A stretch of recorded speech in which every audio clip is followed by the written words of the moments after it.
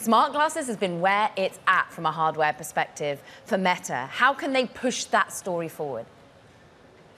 Yeah, I think it's just integrating more of the capability with with Mark's vision on uh, Meta AI, right? Like they've given some applications in terms of some of the translation capabilities, being able to, you know, have some of the augmented reality capabilities, um, and I think you'll just see, you know, we expect to see more of that tonight. So really, the vision of generative AI coming at the heart, and why Meta AI is really amplified with the hardware story. But the competition's coming. We know Google's got them in the works. We know that, of course, Apple might or might not in the future. But Brad, therefore, what sets their deal with Ray-Ban apart? How can they continue to offer a little bit more to the experience than an augmented reality vibe?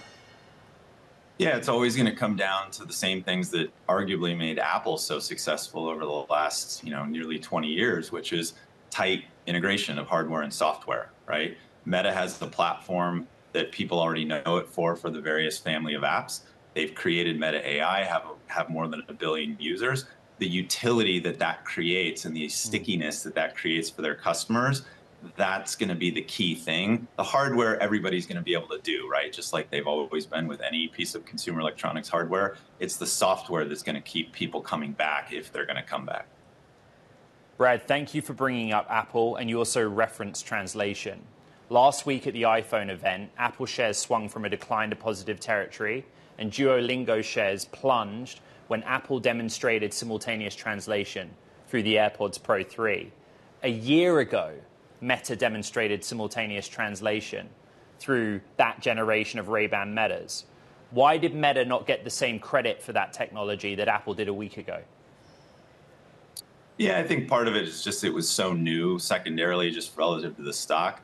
Um, you've also got a, a giant core business, right, that you're comping, and that's clearly not going to be the focus of it. Nor is it necessarily clear how you would how you would uh, yield an advertising business out of that. So I think that's just mechanically that's kind of the primary reason.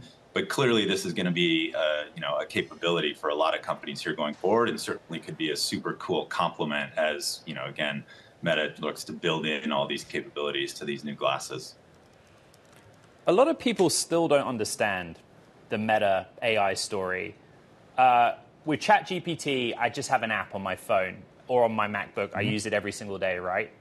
With Meta, I have a standalone app. It's integrated into Instagram, WhatsApp. I am an owner of the Ray-Ban Metas, a different um, interface or medium to use it.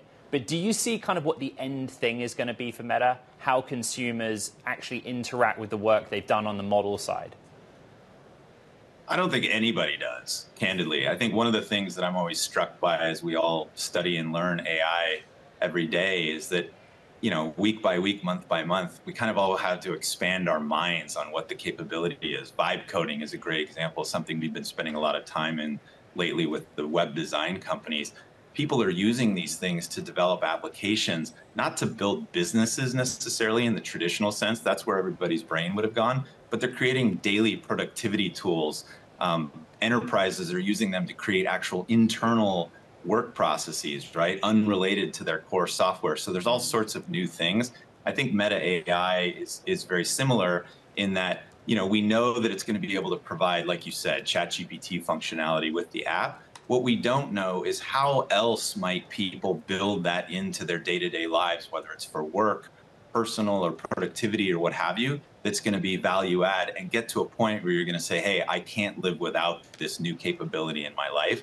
And we don't exactly know what that is yet. We're, we're learning about it. We're trying to sort of expand our minds, but we haven't gotten there yet. Well, I mean, Mark Zuckerberg's been expanding the amount that he wants to spend on it and the appetite and ambition, that's for sure, Brad. And he's been given a pass. And you think the stock could climb even higher up to 850, another 9% gain on where we currently are. How much does the TikTok story bear into its bread and butter right now?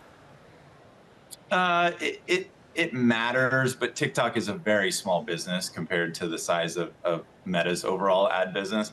I will say that, you know, for a quarter or two now in our channel checks, talking with advertisers, what we have heard was, you know, the the stalled or the uncertain future of TikTok had really caused advertisers to pause uh, any spending growth. They're still spending, to be clear, on ads on TikTok, but there wasn't nearly as much growth. Um, to the degree that we get a deal here at some point, maybe that provides clarity, becomes a little bit of a headwind. But I wouldn't, I don't want to like overstate it because it is TikTok's still, uh, you know, somewhere in the call it 10% of the business relative to the size of Meta's ad business.